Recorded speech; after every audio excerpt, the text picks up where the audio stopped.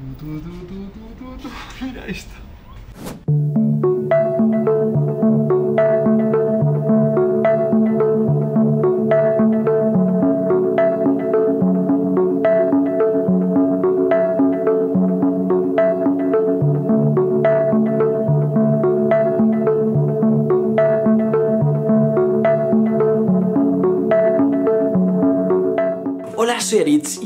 bienvenida a la segunda parte del vídeo del Aquarium. No tengo mucho más que decir, solamente que en este vídeo salen muchísimo más animales y salen unas cosas mucho más épicas que en el primero. Si no lo habéis visto, os dejo por aquí arriba el primer vídeo. No digo más y espero que os encante. Ya estamos en la zona de los peces y es que la verdad es que es una zona espectacular. Cuando llegas tienes un acuario lleno de medusas. Las medusas son Aurelia aurita, una especie muy típica y muy conocida por las películas, por los vídeos, por las imágenes. Y lo guay de estas es que las crían aquí. Como son una especie que vive muy poco, entre 6 y 7 meses, las tienen que estar criando constantemente para poder reproducirlas y meterlas de nuevo en el acuario. Me flipa la cantidad de vida que hay en cada uno de los tanques. En este que tengo aquí hay un montón de sardinas, pero es que a la vez hay unas algas rojas súper chulas, un montón de estrellas de mar que son gigantes y hay algunas estrellas de mar de arena también en la que la gente no se suele fijar, pero es que sinceramente son súper chulas, súper bonitas y súper características. Esta digamos que es la zona del Cantábrico. Estos peces son todos los que están en el norte y los que digamos que entre comillas podríamos encontrarnos en nuestros mares. Tenemos un acuario exclusivo solo para mejillones y plumas, un acuario para erizos y, unas gambitas súper graciosas que la verdad es que parece que están todo el día como mirándote y andando. Eh, un dato muy chulo que descubrí hace poco es que yo pensaba, inocente, que, mm, que los corales eran algo solamente del Caribe o de las aguas tropicales, pero no, también tenemos corales en el Cantábrico y hay un acuario únicamente dedicados a ellos. Pequeño paréntesis, hay algunos clips que como veis no tienen demasiada buena calidad y es que por no dañar a los peces no se puede usar ningún tipo de flash ni iluminación durante el recorrido del acuario. Espero que lo comprendáis y que disfrutéis igualmente del vídeo, así que dicho esto, sigamos. Bueno, me paro aquí un poco nostálgico porque mm, esto ahora mismo está vacío. No se aprecia bien, pero es el típico sitio donde los niños podían jugar con la mano, a tocar a los peces y era un sitio con un montón de agua. Ahora está cerrado por el tema del coronavirus y porque todos los niños se apelotonaban y al final pues es inviable tenerlo activo. Pero sinceramente mola un montón verlo cuando está encendido. Allá a lo lejos se ve el oceanario, que es el tanque de más de un millón y medio de litros de agua del que os he hablado. Es una auténtica maravilla y se ve espectacular. Pero bueno, no os voy a dar mucho la chapa, quiero que disfrutéis de lo bonito de verlo y por eso voy a dejar de hablar y os voy a dejar unas imágenes para que podáis disfrutarlo desde casa.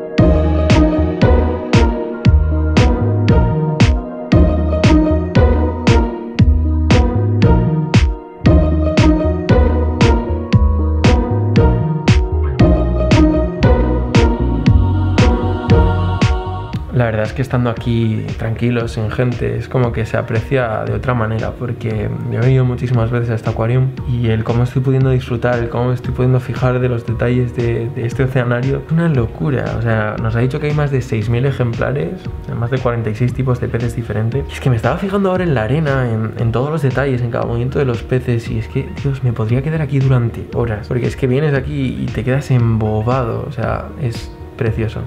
De hecho, algo muy curioso de estos tiburones que me estaba fijando y que nos han contado antes es que todos los crían aquí, ¿vale? Bueno, todos, los de una especie en concreto, pero mm, los tiburones van, ponen huevos, los crían en los laboratorios que con suerte en un futuro podremos visitar y los introducen al oceanario, o sea que es una pasada. Espero que estéis disfrutando este vídeo tanto como nosotros de grabarlo porque la verdad es que está siendo una experiencia totalmente mágica, única y diferente. Y cuando veáis el acuario tropical que vamos a ver luego, que es el que nos van a enseñar de forma exclusiva porque está cerrado al público, eh, vais a alucinar.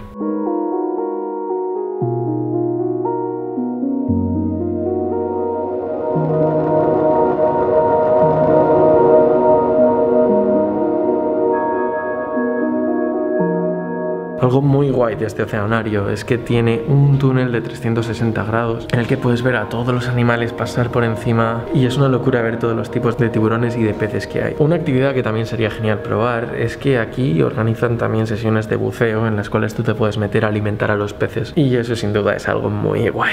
Un dato curioso es que el Aquarium trabaja con un programa de rehabilitación de tortugas para la reinserción en el océano. Eso significa que si de alguna vez reciben una tortuga que esté enferma, la tienen aquí en el oceanario, la recuperan y luego la vuelven a llevar al mar. Por eso a veces podemos llegar y encontrarnos tortugas marinas y otras no. Una anécdota graciosa sobre el Aquarium es que yo conozco a uno de los buzos que trabajo aquí y me decía que a veces si los tiburones no comen cuando les das de comer era sinónimo de que, de que habían cenado, vamos, de que se habían comido a otro pez. Y yo no me lo llegaba a creer porque, bueno, o sea, claro que me lo creía, pero decía, joder, qué curioso tiene que ser que eso pase. Y hace unas semanas vine aquí con mi pareja y estaba fijándome en un grupo de pececitos y de repente pasó el tiburón por al lado y hizo ¡pum!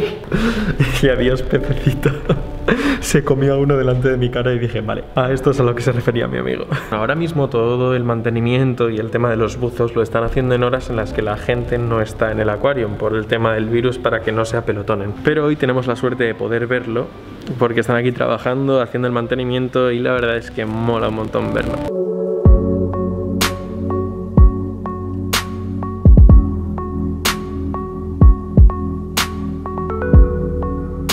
Como he dicho antes, aquí crían tiburones y el acuario que estamos grabando ahora es un acuario en el que cogen los huevos, los depositan ahí y ahí los dejan hasta que nacen. Una vez nacen lo llevan al laboratorio y ahí ya los agrandan hasta que llegan al tamaño suficiente como para poder introducirlos al oceanario. Normalmente no en muchos acuarios tienen pulpos y algo muy guay es que hace nada han traído uno aquí y es increíble verle. Además en el mismo acuario han metido gorgonia que es un coral que me encanta y que a futuro quiero tener al menos uno en uno de mis acuarios, porque sinceramente es un coral precioso. Como podéis imaginar, el pulpo es un animal que me encanta, por algo me lo he tatuado, y es que aparte de ser un cefalópodo súper, súper, súper inteligente, me parece majestuoso. O sea, lo mires por donde lo mires, me parece uno de los animales más bonitos que hay en el mar. De hecho, cuando voy a meterme a mirar los peces al mar, si veo un pulpo me quedo un montón de tiempo observándole y mirándole porque es que me parece que todos sus movimientos son increíbles.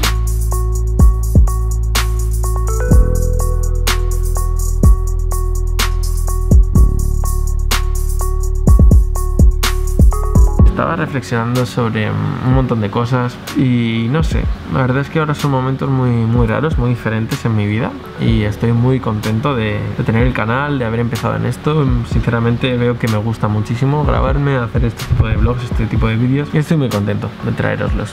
Así que dicho esto, gracias a todos los que veis los vídeos y vámonos a la zona tropical.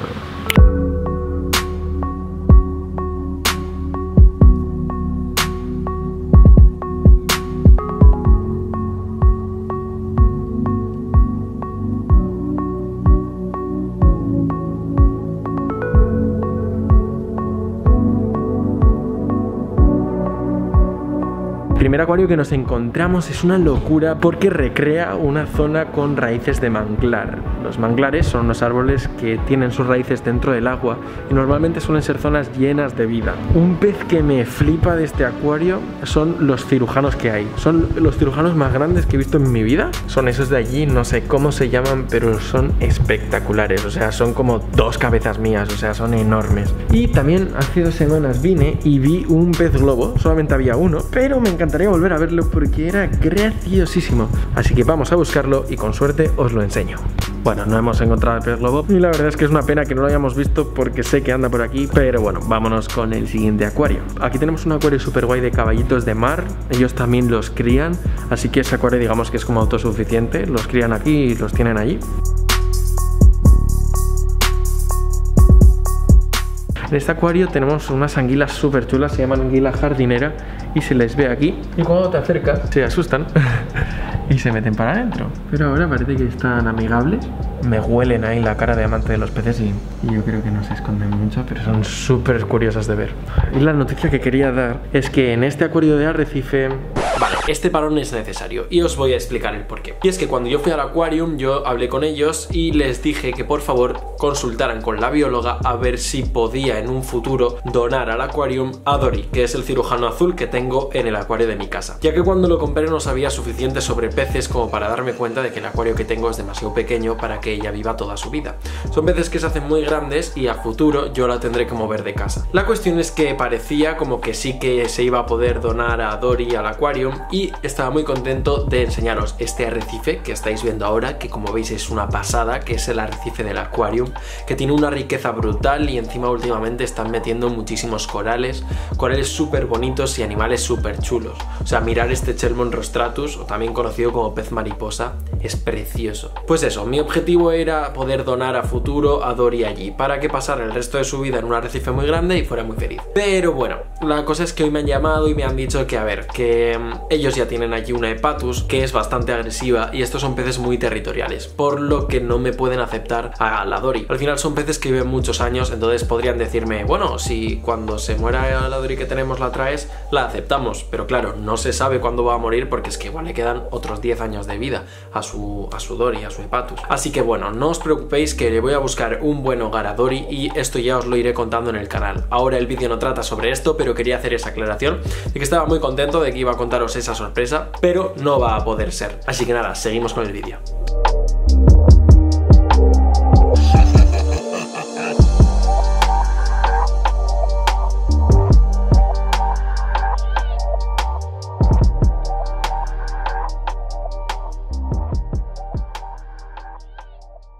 En esta zona tropical encontramos peces súper graciosos, como por ejemplo los peces piña, que es un pez súper característico precisamente porque externamente parece una piña. Pero mis favoritos son, sin duda, el acuario que tiene peces vaca, peces cofre y peces ángel o escorpión. Y es que los peces vaca son muy graciosos porque hay un vídeo muy viral en Instagram que me habéis enviado mucho, que es un pez vaca echando agua por la boca. Vale, pues hacen eso, es muy característico. Y los peces cofre son graciosísimos porque literalmente parecen eso, una caja. Estos peces son peces ángel o peces escorpión y son unos peces súper peligrosos. Tienen un veneno que te puede llevar al otro barrio perfectamente si no lo curas a tiempo. Otros muy graciosos también son los peces cuchillo que están así puestos o peces navaja creo, no sé exactamente cómo son, que son muy divertidos de ver porque siempre van así como en vertical puestos. Pero realmente el acuario que más me gusta, por desgracia, es un acuario que está aquí para reivindicar algo, para denunciar una situación y es la de la basura en los océanos. Este acuario que tengo detrás es un acuario que está lleno de basura, lleno de plásticos. Y es que aunque parezca una burla, una tontería, hay zonas del océano que están así, están así mucho peor. Y al final, no sé, siento que como persona que hace este vídeo, como persona a la que le van a ver otras personas, me parece muy importante decir que de las responsabilidades de cada uno, que no sé cómo a día de hoy siguen existiendo personas que pueden llegar a tirar plásticos al mar. Os voy a poner aquí unas tomas, por ejemplo, el otro día, ¿no? Me fui con mi novia a dar un paseo al lado del mar y nos encontramos tanta basura que no pudimos no recogerla porque había eh, decenas de bolsas a pocos metros de la basura al lado del mar y es que eso lo han hecho personas personas que pueden ver este vídeo no lo verán en su vida, pero es que esas personas son iguales que tú y que yo. Bueno, igual no, porque la verdad es que no comparto valores con ese tipo de gente. Pero es que si nosotros no vemos basura y la tiramos, si nosotros no cogemos y echamos lo que malgastamos en una papelera, esto es lo que pasa. Los corales se mueren, los peces se mueren. Ya no solo eso, es que los peces que nosotros comemos tienen esto en el estómago y nos vamos a morir. O sea, es que es terrible que estemos ingiriendo metales pesados, plásticos y todo por qué? Por pura negligencia. Y algunos piensan o se justifican diciendo diciendo que esto es culpa de las empresas, de los grandes petrolíferos. Vale, sí, pero es que tú y yo no entramos ahí. Tú y yo entramos en la parte de que nuestro plástico o nuestra basura la tiremos a donde la tenemos que tirar. Así que si tú y yo hacemos nuestra parte, poquito a poco todos podemos ir haciéndola. Así que bueno, disfrutar del acuario porque los animales son preciosos, pero es una pena que el mensaje que deje sea tan real y tan cercano como el que es. Boom, hago este otro parón porque es muy importante explicaros esta zona en concreto. Estamos hablando de una zona que ahora mismo está cerrada totalmente al público, es un auditorio que normalmente se utiliza para hacer eventos, para dar conferencias o para eventos puntuales en las que una empresa alquila el sitio para poder hacer algo privado. La cuestión es que cuando no había virus, de vez en cuando se podía entrar a mirar, pero ahora está totalmente restringido. Y los chicos del Aquarium nos dejaron la oportunidad de entrar a verlo, lo cual fue una auténtica locura. Es un auditorio precioso y como dejé claro en el vídeo, me he propuesto como objetivo en un futuro llegar a hacer magia allí. Sinceramente me encanta, digo lo de magia porque si no me conocéis tenéis que saber que yo también soy mago, hago actuaciones de trucos de magia y esas cosas y la verdad es que es un sitio espectacular. Os dejo con las imágenes y no hablo más para que podáis disfrutarlo.